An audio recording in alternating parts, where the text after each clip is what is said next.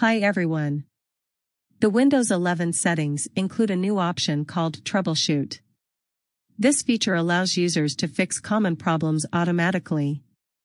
It provides a one-click solution to many problems.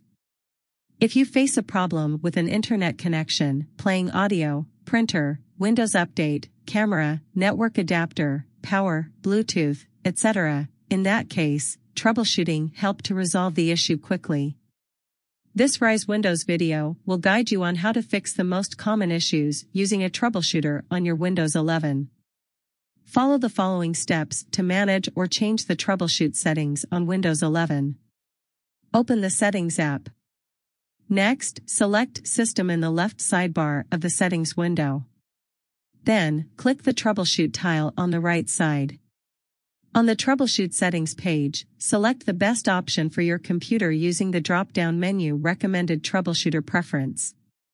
You can choose the following. Run automatically, don't notify me. If you choose this option, troubleshooting will automatically run and fix the problem.